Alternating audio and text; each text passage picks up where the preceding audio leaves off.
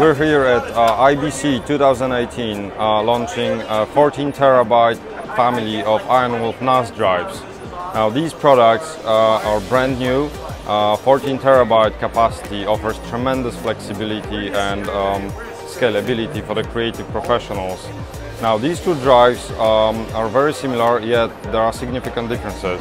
14 terabyte IronWolf is designed for uh, 1 to 8 bay NAS solutions so SMB class uh, devices and it's limited uh, to 180 terabytes a year workload. IronWolf Pro on the other hand is designed for uh, a bigger uh, NAS solutions and is rated at 300 terabytes a year of workload.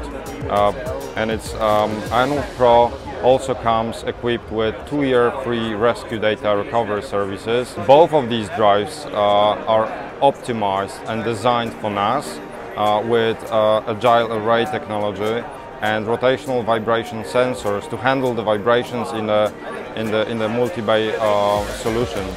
Uh, this enables stable delivery of performance and high reliability in, in this type of uh, environments. One of the key benefits of um, IronWolf family of drives is the IronWolf Health Management technology. Uh, this technology protects the data um, uh, in the storage um, solution by monitoring the health of, uh, of hard drives constantly in compatible NAS boxes. With that, uh, I introduce to you IronWolf 14 terabyte and IronWolf Pro 14 terabyte uh, drives, which are an absolute hit uh, of IBC 2018.